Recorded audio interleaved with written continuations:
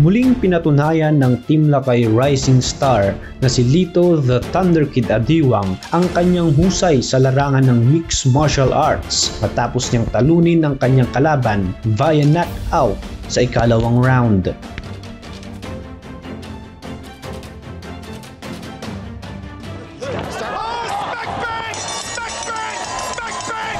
Smack Bang! Yan ang nasabi ng One Championship commentator nang patumbahin ni Lito the Thunder Kid Adiwang sina Miki Kawahara ng Japan sa loob ng 2 minutes and 2 seconds ng second round.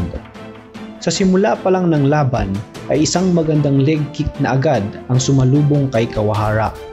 Sinubukan ding i-take down ng hapon si Thunder Kid pero nabigo ito dahil sa napakagandang takedown defense ni Adiwang mas lalo pang uminit ang laban nang magpalitan ang dalawa ng suntok at sipa.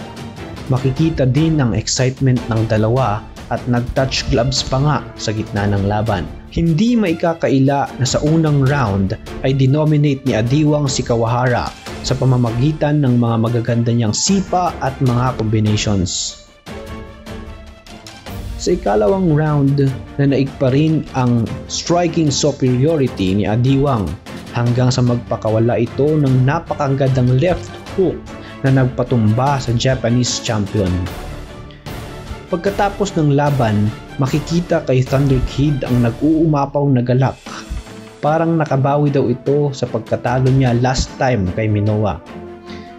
Naging emosyonal ang panalong ito para kay Adiwang at kumpara sa lahat ng mga naging laban nito, ito raw ang pinakamahirap. It's been tough for me. I'm very emotion, emotional uh, coming to this fight. I know I got a lot of uh, challenges leading to this fight, but when to God be the glory, I tested myself here. I, honestly, this is the toughest fight camp that I I faced. I didn't prepare well, but to God be the glory, I got a win. Dagdag pa niya, ngayon lang siya kinabahan hindi dahil sa kalaban, kundi dahil sa pagkawala ng kanyang ina hindi niya alam kung makakapag-focus siya sa laban at kung makakapag-perform ng maayos. Nabanggit din ni Adiwang na magaling na fighter si Kawahara. Magaling siyang fighter at talagang warrior.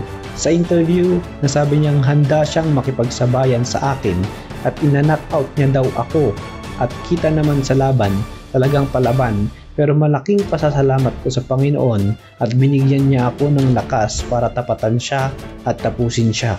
Yan ang naging pahayag ni Adiwang tungkol kay Kawahara. Para kay Thunder Kid, hindi mahalaga kung sino ang susunod na makakaharap niya. Basta ang importante ay mag-improve at mapalakas pa niya ang kanyang laro para kahit sino man ang itapat ay handa siya. Inialay ni Adiwang ang panalong ito sa kanyang pamilya at sa kanyang pumanaw na ina. When uh, just I just got a message to my family back home. Oh, we've been through a lot, and to my family, I love you so much. This is for you. This is to you, Mama. Thank you. Si Adiwang ay mayroon ng record na 12 wins at 3 losses at ang panalong ito ang unang panalo ng Team Lakay ngayong taon at napakagandang simula ito para sa team. Sa ngayon ay wala pang announcement kung kailan ang magiging susunod na laban ng Team Lakay. Maraming salamat sa panonood at huwag kaming kalilimutang i-subscribe sa aming YouTube channel at i-click ang notification bell para lagi kayong updated. Hanggang sa muli mga lakay, champions are not born, they are made.